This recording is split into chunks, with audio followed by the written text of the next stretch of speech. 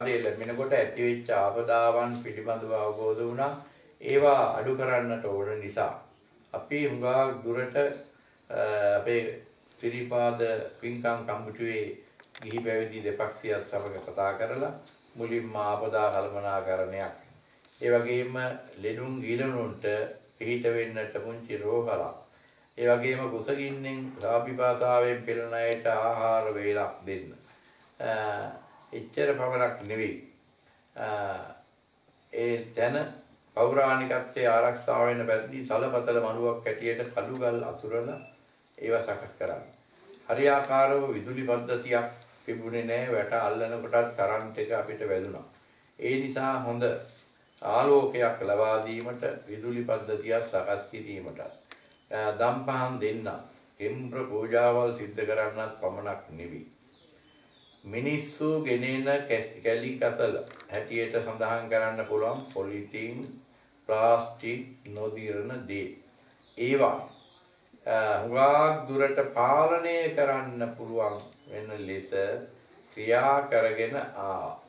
ඒවයින් මමනක් නෙවෙයි අපි තව පරිසරයට හානි පැමිණෙන දේවල් බැහැර කරන්නටම ක්‍රියා කළා මුලින් ඉඳලා.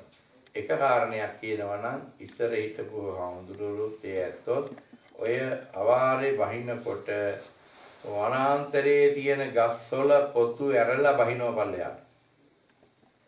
පොතු ඇරලා බැහැලා ඒ වාරේ පටන් ගන්න කිට්ටු වෙනකොට අන්නේ ජාතික මිනිස්සු සේවයට කැඳවපු අය ඒවා කපලා දර බවට පත් කළා මල්වේ ප්‍රයෝජනීයට ගෙනියනවා. අපේ කාලේ එකම දර කෑල්ලක්වත් ලිපේ දාන්නට අපි යෙදුවේ නැහැ. ගත්ත දවසේ ඉඳලා දර දාලා ලිප්පත්තු කරන්නට යෙදුවේ නැහැ. අපිට බාර වුණු දවසේ ඉඳලා අපි ගෑස් වලින් කරන්ට් එකෙන් ආහාර පාන ආදී පූජා පූජාවන් සිද්ධ කිරීම පිළිබඳ ඒ කටයුතු කරන්නට ඉදිරිපත් වුණා. එදත් එහෙමයි අදත් එහෙමයි පරිසරයට හානි කරන්නට ඉදිරිපත් වුණේ නැහැ. ඒ වගේම ජලයට හානි වෙන මේ නරක ද්‍රව්‍ය අපවිත්‍ර ද්‍රව්‍ය නොදිරන ද්‍රව්‍ය ඒ දමනේවත් ඒව නතර කරන්න උගාක් දුරට පිරිස් යෙදුවා. නිසා බැතිමතුනි ගහකොළ විනාශ වෙනවා සතා සිව්පාව විනාශ වෙනවා ජලය ජල පෝෂිත ස්ථාන නැති වෙලා යනවා ජලයත් අපවිත්‍ර වෙනවා එහෙම වුණොත් හතර දිශාවටම ගලනා ගංගා හතරක් නිතර බුදුන් වඳිනා අය නානා සීතල ගඟුල කියලා කියනවා. තොරතෝන්තියක් වැටෙන ඇලදොල ඒ වගේ ඒවා තියෙනවායි කියනවා. එහෙම එකේ නිකං ඒ ජලය දිහා බැලුවම නිකම් පානය කරන්න පුළුවන් ඒ තරමට පිරිසිදුයි ගලා බහින ජලය.